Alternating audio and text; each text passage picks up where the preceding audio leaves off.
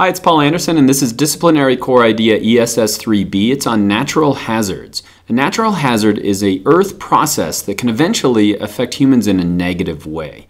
And sometimes we confuse the term natural hazard which, with the term natural disaster. And so the one thing you should remember is that a natural hazard may eventually lead to a natural disaster. So let me teach you what that means using an example. In 1906, there was the Great San Francisco Fire. It was a fire that killed thousands of people. It burned 80% of the city of San Francisco, and so that's clearly a natural disaster.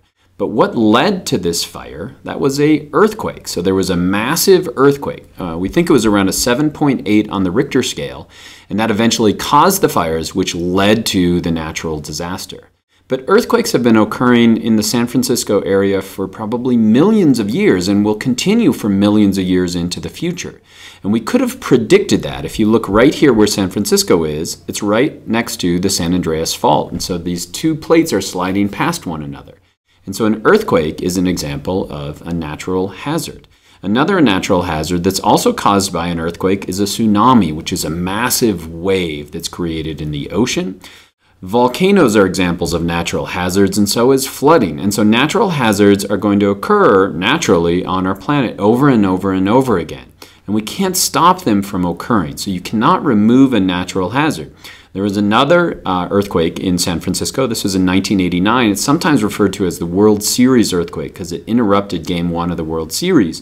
And it caused damage like this. And you can see it was centered a little bit farther south, but it was another massive earthquake. And so, since we can't remove the natural hazard, what we try to do is to reduce the amount of damage that's caused by these natural hazards. And so, you can see here that in, in that 1989 earthquake, that some of the buildings were damaged, and those were ones that generally had garages on the bottom, so they didn't have enough support. And so, we can retrofit buildings in areas that are prone to earthquakes, and we can make them safer. I happen to live in an area right next to Yellowstone Park where we have a lot of earthquake activity. And so the high school I teach in is retrofitted with these giant beams, and it's going to keep us safer if and when we have an earthquake. And so another thing that is important is that we try to predict these natural hazards. So one that I can remember was the eruption of Mount St. Helens. And so Mount St. Helens used to look like this, and then a few days later it looked like that. So there was a massive eruption that blew the top off of that mountain. But the scientists were able to predict that. There was a massive bulge that was starting to form on the side of it, and it had literally moved up 50 feet. So they knew that something was going to occur, and the people who died were people who didn't heed their warnings. And so we can predict a lot of things like volcanoes. We can make predictions about hurricanes now. They don't just arrive, we can track them using satellite imagery and radar, and we can figure out where they are and where they're moving and who's in, in the path of that hurricane. Sometimes in the case of earthquakes, we can't predict when those natural hazards are going to occur. We don't know when the earth is going to slip.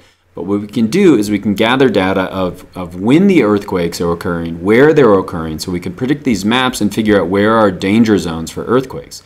And so along the coast of, of the, the west coast, we're obviously going to have lots of earthquake activity. We'll get some right here in the middle as the, as the plate is buckling. And then in areas where we have hot zones, like here in Yellowstone Park, we're going to have high earthquake activity. So it's an area where we should get ready because earthquakes eventually are going to occur. And as the population on our planet increases, we're going to see more natural disasters as a result of these hazards. We're going to see increase in, in, damage due to flooding, wildfires, hurricanes.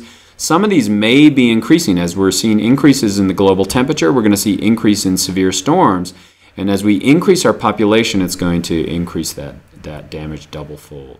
And so, how do we teach this in school? Well, uh, first of all, you should talk about severe weather. And so, in the lower elementary grades, you want to explain to your students that severe weather doesn't just occur randomly, it occurs in specific times and in specific places. And so, in the southeast, we're going to see hurricanes, and that's generally at the end of summer and into fall. We're going to see tornadoes in the Midwest. We're going to see fire, wildfires out west. We're going to see heat waves in the southwest, and we're going to see heavy snowfall in the northeast, and that's caused by lake effect. And so what we find is that meteorologists can help us predict this severe weather and help us plan for it. As you move into the upper elementary grades, you want to start talking about natural hazards, listing them, tsunamis, earthquakes, volcanoes, and make sure the students know that they're not going to go anywhere, that we cannot remove the natural hazard, but what we can do is we can prepare for it and we can reduce damage caused by it. As you move into middle school, you want to start talking about natural hazards and how they can be predicted. So we can make direct predictions by either watching the earth in the case of a volcano or watching the storm in the case of a hurricane. And then we can do indirect prediction. We can find areas where we're more likely to have earthquakes and we can use those to prepare. As they move into high school, you want to them to understand that natural hazards are just a part of human history, that they've occurred through time. So, this is the eruption of Mount Vesuvius, which, co which covered all of the city of Pompeii. Um, in 1906, we had the San Francisco earthquake, we had Hurricane Katrina in 2005, and we'll continue to have natural disaster, disasters that are caused by natural hazard into the future. We just have to prepare for them and be able to predict them. And so natural hazards can occur at a local area, regionally, or can occur globally. They're not going anywhere. And they're going to increase as populations increase, and some of those are going to increase as we make changes to the global temperature. Um, but as long as you know where they are, where they might occur, we can pre prepare for them, we can limit damage, and I hope that was helpful.